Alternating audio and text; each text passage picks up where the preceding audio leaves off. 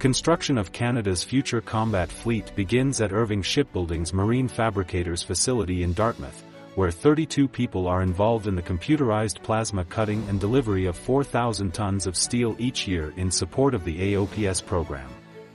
The resulting 70,000 pieces are fabricated in a strategic sequence to meet the production schedule at Irving Shipbuilding's Halifax shipyard, the most modern and largest indoor shipbuilding facility in North America. The steel weighs 3,734 kilograms, 3.7 tons, and will be used in a combination of locations on the ship, including the initial pieces that will begin the development of the keel. Upon completion, the future HMCS Robert Hampton Gray will be 103.6 meters in length, have a 19-meter beam, display 6,615 tons, and be comprised of 440,000 parts.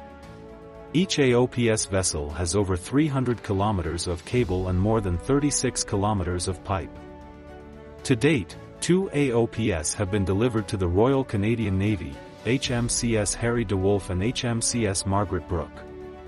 The future HMCS Max Bernays, AOPS-3, is due for delivery next month. The future HMCS William Hall, AOPS-4, recently moved all mega blocks to land level and is undergoing final assembly in preparation for launch later this year.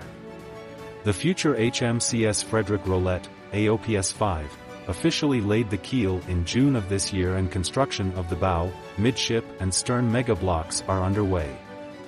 Halifax Shipyard will also construct two AOPS variants for the Canadian Coast Guard, followed by 15 Canadian surface combatants for the Navy that are due to commence construction in 2024.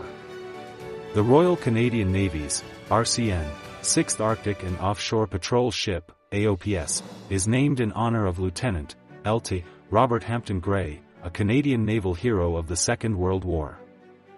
Lieutenant Gray joined the Royal Canadian Naval Volunteer Reserve in 1940 and served as a pilot in the Royal Navy Fleet Air Arm.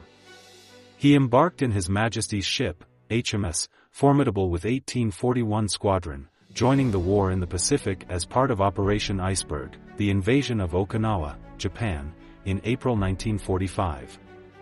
Lieutenant Gray was awarded the Victoria Cross posthumously for courage and determination in carrying out daring airstrikes on the Japanese destroyer His Imperial Japanese Majesty's ship, HIJMS, Amakusa.